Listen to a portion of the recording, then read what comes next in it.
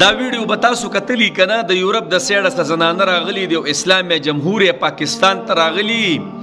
زه د یو صحابي واقع بیانوم خه دی باره کې چې د یو زنانه سره تړلې او په کمره کې هغه څنګه ژوندۍ تیروله صحابو ژوندۍ څنګه وا او زما استاد سره ژوندۍ د مړه مسلمانان الله نو دا راغلی پاکستان ته اسلامي جمهور پاکستان ته راغلی دي او غیر چاپیره د هغه کسان دي الله کم چې د هغه نبی منون کې دي کم نبی چې پورا خزل ډیر عجیب عزت ورکړی دی او ډیر لوی مقام ورکړی ټول ته محمد رسول الله صلی الله علیه وسلم چې منی هغه خلک ته چا پیر دی او دا هغه جنکی دی الله چې یا موسی علی السلام منی یا عیسی علی السلام منی او زما نبی نه منی خو بیا راغلی دی امن غواړي او قسم لا دا شین پاسپورت چې د سره دی کنه او رالی حکومت ته بوله ذمہواری ورکې د امن دا ګیله زه د چا نه وکم لاول خو د حکومت نه زه ګیله کوم مړه زما حکمران یو بل کې نښته دی مړه په کورسو الله دې بس مونږ ماپ کې پته نه لګي چې صحیح حساب کتاب به خو دا به دې ګیره کې مدل دې سپینډه کې دا دې دومره عمر خو نه خو بهر کې به ډګه به راغلی دوا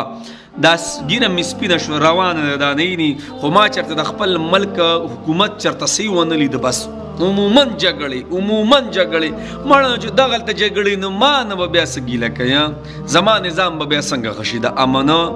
الته امن نشته زما په پارلیمنت کې رور په یو بل په خو دی قولینو بیا دلته زمانه بیا زمانه به ټوریست پاتې شي زمانه بیا پر دې زنانه پاده چې راځي پاکستان ته دغه البو سری خیالم کړي دی اوس دنه ولاړ دي الله غیر چا پیرت اسلام والا خلق تاو دي او د اسلام ملک تر غلي دي هغه ملک چې ډېر د امن پیغام ورکي او هغه سال الله دې موږ معاف کړي بس نو یو صحابي دې صحابي هغه ونیو کاپیرانو او په کوټه کې بند کو په یوځای کې بند کو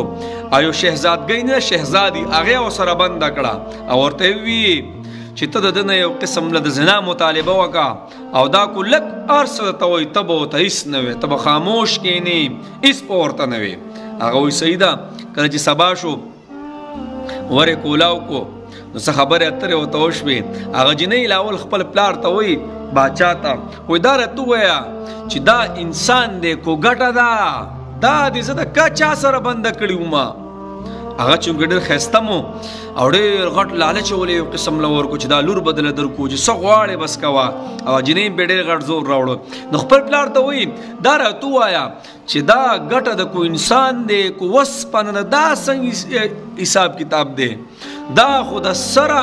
ما ته چرته بر نه دی کتلی ما ته چرته اه نه دی ویلې ما په ډېر وسه وکړي خو دې ما ته بر نه دی کتلی داسي ما ته یو یو خبره داس نه د کړ چې ما وی او زې مې پکې وکړو نه نه نه بیا ورته وی وی ورځ د پسو سره بیا شپه وکا بیا سره شپه وکړه نو بیا د حساب کتابو دغه زنانه دغه شهزادګۍ دومره مجبور کړ په اخلاق باندې چې ایمان یې پر راوړو بیا وسره لاړې خپل وطن هم یو قسم لپاره خو او وته وسره لاړه وسره د اسلام قلات ځان ورسو چونګې الته خو بیا ژوندۍ د مرګ نو غرض مې دا دی اے مسلمانانو زما اسلام خو مال دا درس راکې دی غیر ته دا مکوي چې زمونږ صحابه تیر شوی دي او زمونږ پیغمبران دا ژوندۍ دا زما واستانه عملی ژوندۍ غوړي عملی ژوندۍ هر ځای کې زما او ستا مسلمان دی ګوره زیاتر دا معاملات خراب دي ښا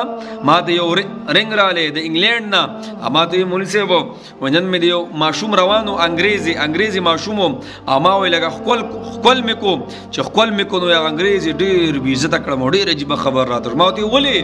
ولی دوم نه پرت مونږ نو کو تاسو ټول دوکا بازي مسلمانان ما ته ولی مستاسو مسلمان را لې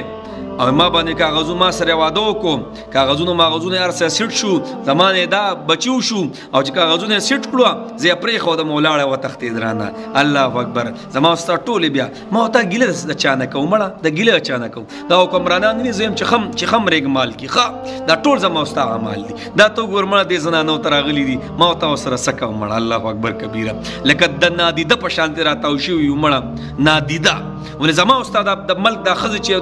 او دا سړی چلته بده په دوی په دې ملکونو کې دي کنه هغه ورته سوي زما واست مل راشي مړ دا چل ورته کو بس دا ته پوز چانو بس الله دې موږ معاف کړي